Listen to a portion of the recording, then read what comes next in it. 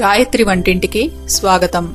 ఇక్కడ నేను చూపించబోయే వంటని మీరు కూడా చేసి మీ ఫ్యామిలీ మెంబర్స్తో రుచి చూసి ఎంజాయ్ చేస్తారని ఆశిస్తాను.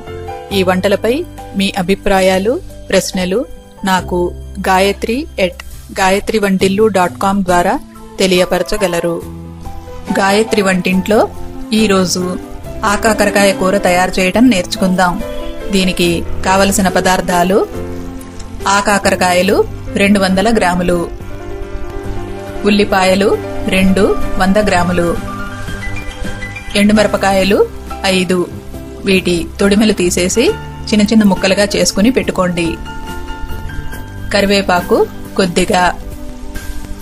ఉప్పు రుచికి తగినంత. పసుపు పావు టీ స్పూను. మినప్పప్పు రెండు టీ స్పూన్లు. ఆవాలు ఒక టీ స్పూను. జీలకర్ర ఒక టీ స్పూను. నూనె రెండున్నర టేబుల్ స్పూన్లు.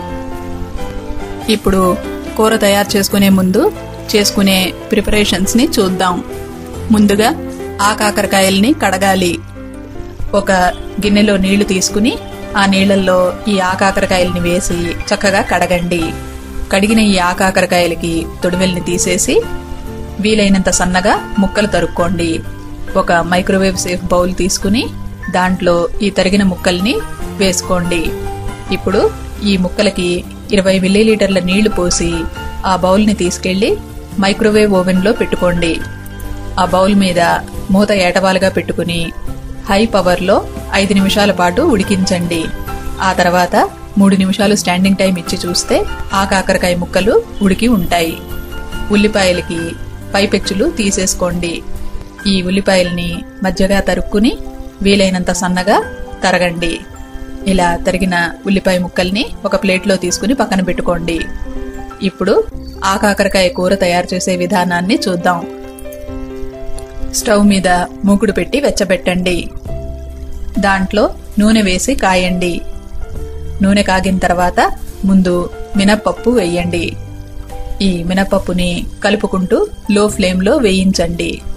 మినపప్పు లైట్గా రంగు మారుతూ ఉన్నప్పుడు ఇందులో ఆవాలు ఆ పైన జీలకర్ర వేయండి. ఇప్పుడు ఈ తిరగమూతనంతటిని బాగా వేయించుకుని అందులో ఎండుమిరపకాయ ముక్కలు కరివేపాకు వేసి బాగా కలపండి.